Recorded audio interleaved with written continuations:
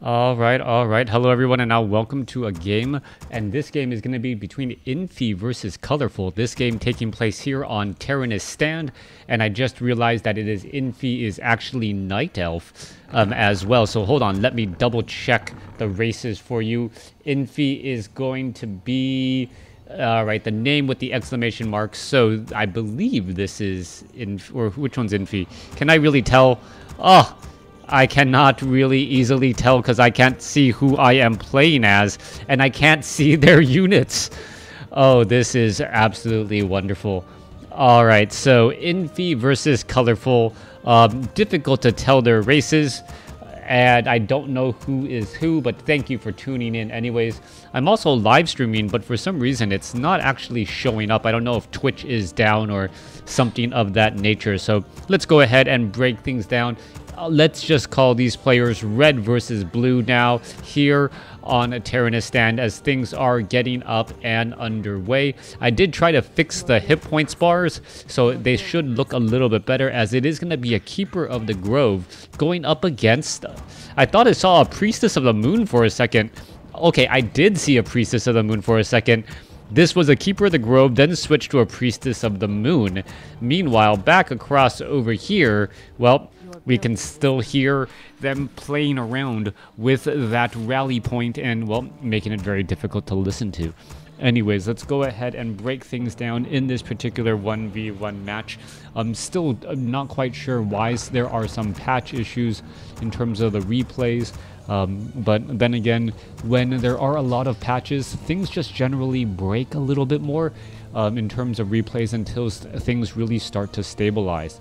All right, we're looking at 19 over 19 over 20 supply for both sides as we're going to be looking at a Priestess of the Moon making her way out here in just a moment. Meanwhile, a lone archer right here, is it going to try and get that lightning shield? Yes, it is. And now going to go ahead and dive on into this position right here. Perhaps should be moving back just a little bit further so that it could actually deal damage to these rogues as well. There you go, going after those units. That lightning shield is eating through some of those units, but they are a little bit more spread apart than he would like as that, well, Archer's going to finish off the rest of these remaining wizards here. Scroll of the Beast will get picked up. It is going to be True Shot Aura, in addition to Gauntlets of Ogre Strength plus 3. So much bonus damage, and part of me just wants to believe that Infi is red, just because, well, it makes, or Infi is blue here, just because that makes uh, quite a bit of sense. Um, because, well, there is an off the wall strategy, and Infi is known for these crazy strategies that sometimes do and do not work. How come I can't click here to change positioning? All right, things just are not working. It's all right. Demon Hunter now going to be coming across into the center portion of the map. He is going to go ahead and try and clear out this Rogue Wizard. It will get taken down. Claws of Attack plus 6 have been picked up. Meanwhile, Priestess of the Moon going to go ahead and pick up a Ring of Protection plus 3. Nice additional armor right there as you're going to see, well, 15% damage reduction. Units are now already making their way back. And this is actually a little bit of a question that I have. Uh, because of the way armor works versus evasion, um, Talisman of Evasion is now just significantly worse than, um, well, I'll have to do the numbers again, but it could be worse than the Ring of Protection plus 4, which drops alongside it. Of, of course, we're talking about overall effective hit points. Um, I do know in certain instances, you know, evasion, you could just proc it indefinitely, and that would, of course, be better as the Demon Hunter comes back across here. All right, a little bit of Searing Arrow action there. Demon Hunter going to be forced to take a lot of damage, already down to 367 hit points, as the units are now looking to back up again back across over here, archers and forest troll shadow priest, they do not want to stick around far too long as we're going to take a look at this bonus plus three damage from that true shot aura and how much damage that can really deal as the priestess of the moon is just able to outrun and shoot down that forest troll shadow priest. One or two more shots should do it. There it goes back off to the north. Archers, Forest Troll, Shadow Priest should be able to finish off this Sasquatch here. Meanwhile, Demon Hunter coming back in for more harassment, but making it very difficult for the Demon Hunter since he has to go the long way round consistently. Archers lining up, uh, making a very good wall, making it very difficult for that Demon Hunter to escape back out. As you're going to take a look, Wisp are now going to make their way back again. All right, low hit point Wisp does actually get taken down. We are now looking at, well, Cloak of Shadows, not Cloak of Shadows, just a wall right there, double archers as the Demon Hunter is going to go ahead and staff up teleportation out of that hairy situation. Back across here, double those two archers are just going to be sitting there for a little while longer before he realizes that the Demon Hunter is not there. Meanwhile, back on the other side of the map, Demon Hunter is clearing up the remainder of this Forest Troll Berserker creep camp. It looks like both sides will be going into tier 2. Forest Troll Shadow Priest now I'm going to get taken down. There you go. There is a Priestess of the Moon alongside a Naga Sea Witch. Priestess of the Moon already at True Shot Aura level 2, giving a strong 20% damage bonus to all of those units. Now, once we get improved bows, um, well, that damage should be getting even higher and further. There you are, improved bows for um, uh, upgrading that damage now. Already 16, or currently 16 at 16 to 18. We'll see what it gets up to. Is it done? Okay, where was it? 16 to 18. All right, now adding plus 3. I thought we saw improved bows. Is it improved range? Yes, 700 range right there. All right, Demon Hunter now trying to back away. Once more, Staff of Teleportation still on cooldown. Meanwhile, Goblin Tinker in the center portion of the map. So far, every single hero has been different in this Night Elf mirror match. All right. Um, so red is actually uh, this is actually going to be um, Infi down across here. So um, Infi is actually red here. Meanwhile, colorful is blue, and colorful is actually the one with the crazy strategy with this priestess of the moon. Lightning shield has been brought into play. We'll see what's going to be coming of this as both sides are setting up expansions. Goblin Tinker as that third or as that second hero, as I mentioned earlier. Demon Hunter making its way down. Meanwhile, back down to the south side here, Goblin Tinker going to take down the Sasquatch Creep Camp. And, well, a whole lot to talk about, but very difficult to try and really predict what is going to be happening here. Demon Hunter Goblin Tinker in a Night Elf mirror match doesn't happen very often, but then again, either does Priestess of the Moon Naga Sea Witch. That is a lot of range damage, and we are also looking at an Ancient of Wind going into not Hippogriffs, but Druids of the Talon. Now, if that continues to go even further with the Tech to Tree of Ages, we could see Cyclone in addition to Fairy Fire, and then we may even also see the addition of the Alchemist. With that much bonus damage from the True Shot aura on the Priestess of the Moon, coupled with the negative armor of the stat, um, the negative armor of well, there's that staff of teleportation of the fairy fire and maybe also the acid bomb. That damage adds up so, so quickly as the archers now making their way down. So far, we still don't see any upgrades whatsoever. Druids of the Talon have not been added in either. Meanwhile, coming back across here, we are looking at a potential creepjack.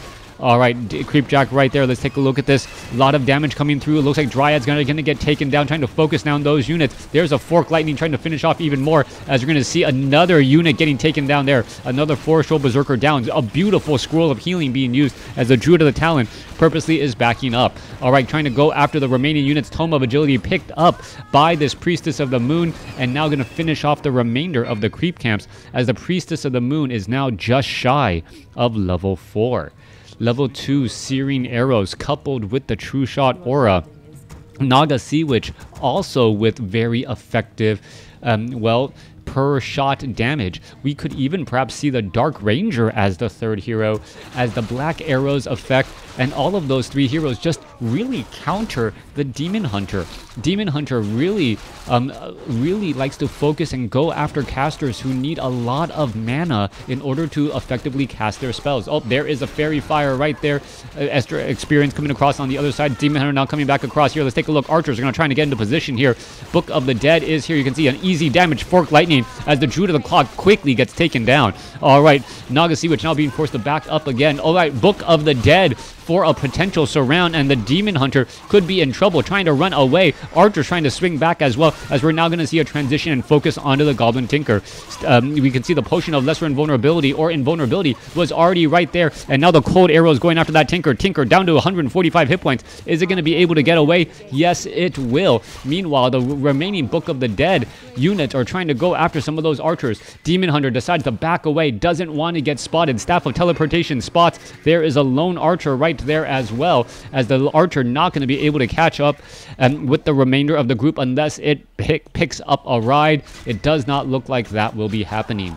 Demon Hunter has went back home. Goblin Tinker sitting at level 2.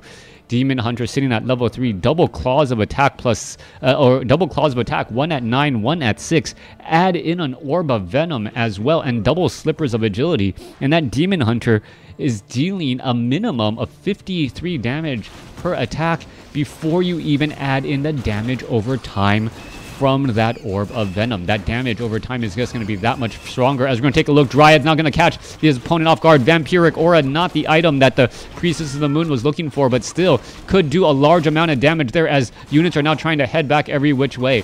All right, Demon Hunter gets up to level 4. Keeper of the Grove now out onto the field, and that's going to go ahead and try and shut down his opponent temporarily. Keeper of the Grove cannot go toe-to-toe -to -toe with that Demon Hunter, especially with those Claws of Attack plus 6, as the units are going to try and engage there. All right, Rejuvenation not going to be enough for that Dryad. Skeletal Minions are going to get taken down once more, giving level 4 to that Goblin Tinker. All right, units trying to win back this fight here. Units are going to be shifting back 46 supply compared to 37 now as we are looking at, well, Infi with the supply advantage, 46 compared to Colorful's 37. Well, who has the hero advantage though? Keeper of the Grove is at level 1. Tinker is at level 3. And, well, we're going to be taking a look at the Priestess of the Moon, who is, well, really caught in a bad spot. Able to use a Scroll of Town Portal to get out of a dicey situation just in time. It does need to get some rejuvenation, though. Uh, well, we'll need to drink some more Moonwell juice and perhaps be able to get back into this game. Keeper of the Grove with the Orb of Venom, selling some um, items once more. Orb of Venom on the Keeper of the Grove. All three of the auto attacks having a bonus effect, either damage over time, slow, or additional bonus damage for that Priestess of the Moon as she makes her way down. Demon Hunter going after this creep camp here. 60 supply compared to 46. Infi has a big, big lead now going into the mid game. And with a big lead going now into the mid game, we'll see what the follow-up plays are going to be. All right, uh, Bear is now making their way back around, and I just realized I have an 180 second delay on my stream because I was casting um, some events earlier, and that is the reason why, um, well, I can't really catch anyone or really interact with my stream right now.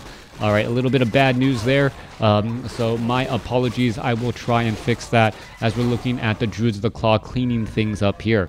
Demon Hunter to go ahead and pick up pick that up. Priestess of the Moon already here, ready to go. Demon Hunter to go ahead and get a mana burn off onto that Keeper of the Grove. However, Cyclone quickly picks up that Demon Hunter as the bears are still chasing. Staff of Preservation saves. Druid of the Claw gets mana burn, now needs to retreat back, still at Adept training as the units now head back off to the north. Keeper of the Grove looking to head off to the north here. We are looking at more Druids of the Claw ready to go for that rejuvenation, keeping that blue army alive. But the blue army of Colorful still down a little bit right now as we now see a transition into Mountain Giants. All right, Mountain Giants, just what the doctor ordered. Extremely powerful when going up against the mass, well, AoE, or, or the range, not AoE, the range units the druids of the Talon, the archers, and the dryads. But now that we're transitioning into bears, Colorful may be able to do that. How a legendary Crota, 10 years. Yes, I have been streaming for 10 years. Um, and I am doing well. Thank you for asking. 74 supply compared to 60 Infi with a sizable lead. Mountain Giants with that siege damage as well. They're going to be making their way over. And well, this is actually a strange spot to be in. The Druids of the Talon um, are going to get a little bit of a, a, bonus effect, maybe two two damage per attack, but that's not really all that effective. Now, what we're going to be looking at here is that the units should be making their way out. Well, if the Druids of the Talon could actually attack ground units while they're in the air form with their magic damage, that would be a very, very effective ability, um, an easy way to mass up damage, and perhaps a way to make the Druids of the Talon a little bit more viable now, but that's another talk for another time. Demon Hunter, oh, no, no, Goblin Tinker just simply walking on by and perhaps going to be dropping some clock, uh, Clockwork Goblins here. That's actually strange that the Goblin Tinker was able to make it its way all the way over there without getting stuck or caught up anywhere. Druid to the Claw going to go ahead and finish those off now as those units are now looking to back up what's happening next. All right, Priestess of the Moon getting here, ready to go. Dryad's going to go ahead and get pick off some damage onto those Druids of the Talon. Uh, as we're seeing a little bit of a pincer play here. Both sides trying to fight through. One low hit point Druid of the Talon still sticking around. Uh, however, gets taken out by a Clockwork Goblin explosion. Cyclone continuing to pick up units here. Low hit point units slowly getting taken down. Mountain Giants could be in trouble. And, well, are they going to get staffed to preservation? You already, what, what is that? No, that's a Druid of Claw there. Down to 166. It gets staffed to preservation to, well, stick and stay alive another day. Red versus blue continually continuing the fight back and forth. Goblin Tinker doesn't like what he sees, decides to head back. All right. Units will be teleporting back. We are back at 74 supply or 80 supply compared to 69 now. Infi with a sizable advantage, but much of his army is currently in the red. Mountain Giants not well not very known to be easily healed. They have 1600 hit points, so that is good. But well, trying to heal up 1600 hit points can be a daunting task without a fountain of health. Keeper of the Grove sitting, still sitting at level 1. Naga Sea Witch now making her way back down here as well. Priestess of the Moon going to go ahead and shift down as we're looking at an engagement here in the coming moments. Demon Hunter going to get lined up. He does have an Ankh of Reincarnation, allowing him to get, get knocked down and get back up again. But then again, you still don't want to be giving that much experience or lose that Demon Hunter for that long. 80 supply compared to 73. Priestess of the Moon now making its way out. Druids of the Claw here, ready to go. Dryads are going to engage. No, a little bit of a standoff still. Infi. Infi having a little bit of a time trying to decide when to engage as we're looking at the Bears now finally lined up colorful with those bears, really powerful as they're going to engage back and forth now. As you're going to see the mountain giants who are going to end up taking bonus damage. Low hit point, Druid of the Claw gets stabbed a preservation away as we're going to see another bear get taken out. All right, both sides trying to fight. There's another staff of preservation. So multiple staffs of preservation on Colorful's army perhaps is the saving grace right now. But at some point, these bears are going to start to fall. All right, the cooldown looks like it's going to be coming to an end. Bear is going to get taken down. There it goes. Mountain Giants, Bears are going to start falling on both sides as the Goblin Tinker, well, low on hit points, doesn't want to stick around far too long. Keeper of the Grove now at level 2, gets up Thorn's Aura, going to be able to reflect back some of that melee damage as the Demon Hunter is in a bit of trouble. Could easily get taken out. Staff of Preservation, there's the Mana Burn. Staff of, well, Staff of Preservation saves another bear. These two low hit point bears need to be able to get away. Are they going to be able to make it back? As you can see, a low hit point drew to the Claw um, now down to one hit point, trying to head back again. All right, Demon Hunter getting ready to re-engage once more, trying to go after these Dryads. Dryads are microing back again. Naga Sea Witch says, you know what? I don't want to stick around in this fight. Let me get out of here as well. Demon Hunter gets to level 5 in all of that last there. Druids of the Talons now trying to head back. Low hit point. Druids of the Claw gonna go ahead and retreat back to colorful compared to 70 uh, compared to 70. All right. How is this all going to be unfolding? Demon Hunter needs to make its way back off to the north. Infi has a level 5 Demon Hunter, level 3, almost level, level 4 Goblin Tinker. He's going up against a level 4, almost level 5 uh, Priestess of the Moon, a level 2 Keeper of the Grove, and a Naga Sea Witch also with this time if Colorful is able to get all of these bears to just start rejuvenating each other, his army is going to be significantly stronger, as I believe there are still a number of low hit point units. No, nope, I take it back. Infi's army looking pretty strong as well. 74 supply compared to 77. Colorful with a slight advantage. 1-1 upgrades going up against... Uh, well, can't tell the upgrades until I can actually click on a bear. Um, let's take a look. Well, units are about to engage here. Druids of the Talon are low. Bears are sitting at 2-1 upgrades. Rejuvenation about to come through. Thorns Aura plus True Shot Aura may be the difference as the Dryads and the Bears trying to take down this Tree of Life. All right, Fairy Fire now coming across. Wisp now coming in. Fork Lightning. Priestess of the Moon now sitting at level 5. That level 3 True Shot Aura should be huge in terms of damage. Plus 11 damage just from that. Keeper of the Grove now getting plus 19 with big damage. And also the Druids of the Talon all right, Tree of Life was lost, but at what cost is Infi going to lose too many of his bears as he tries to engage back constantly? Staff of Preservation on both sides. Infi losing bear after bear. And Infi is in serious trouble. Is it going to lose another bear right there? No. That bear able to escape at 16 hit points. Wisp now looking to back away again. This expansion trying to be built. Well, that Priestess of the Moon going to have no problem at all trying to take that down as it moves away. Little bit of damage as it constantly attacks here again and again. Down to 70, down to 17. There is the cancellation as the Priestess of the Moon dealing upwards of 52 damage per shot as the Demon Hunter finally shoos it away. Keeper of the Grove. Now see which why is, is there more sounds? All right. Sounded like that goblin factory, or the pocket factory was still trying to crank out clockwork goblins for a moment. Priestess of the Moon going to get in a position here. Damage onto that Demon Hunter. He's going to back away once more, looking for that last Wisp. Wisp going to easily get taken down. Nope, there's a detonation. Not enough attacks at all. Coming back, Goblin Sappers from Infi going to make short work of a new expansion attempt.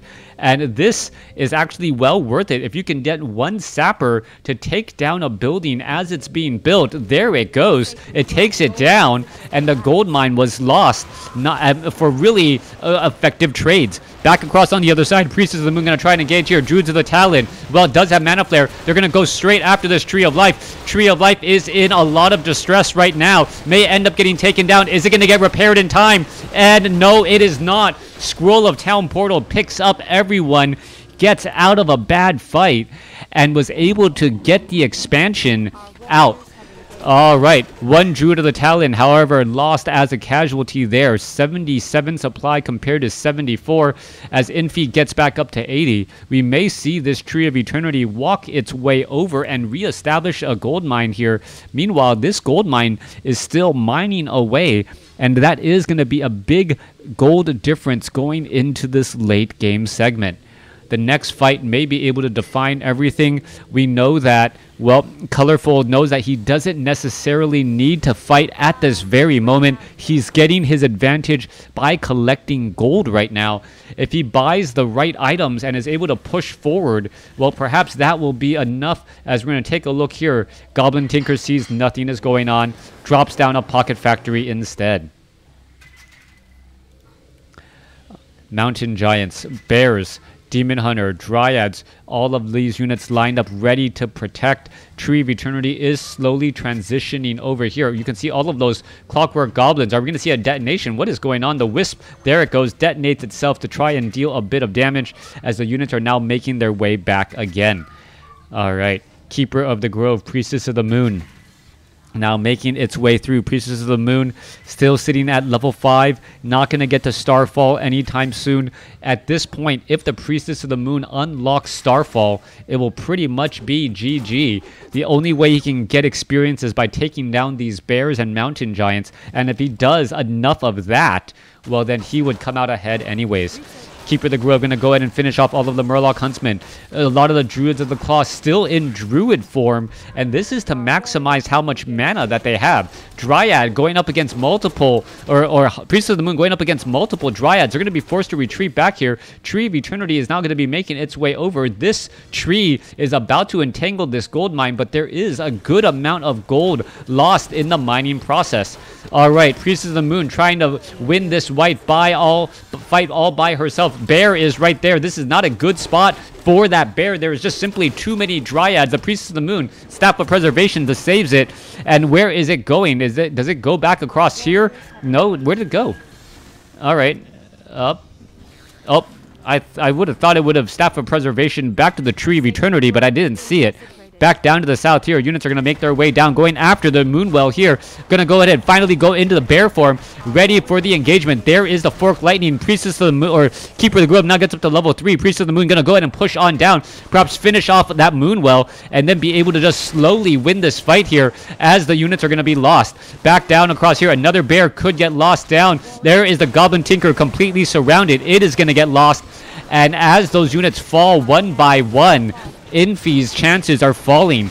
Uh, well, Druids of the Talon still in the back line here. We're looking at the Keeper of the Grove entangling and shutting down that Demon Hunter either with Cyclone or Entangle, but the damage is just starting to eat its way through. Even with Anti-Magic Shell, that unit was unable to stay alive. Demon Hunter was going to fall, and there was the GG. Colorful taking this game from Infi. Thanks for watching. Thanks for listening. Hope you guys enjoyed it.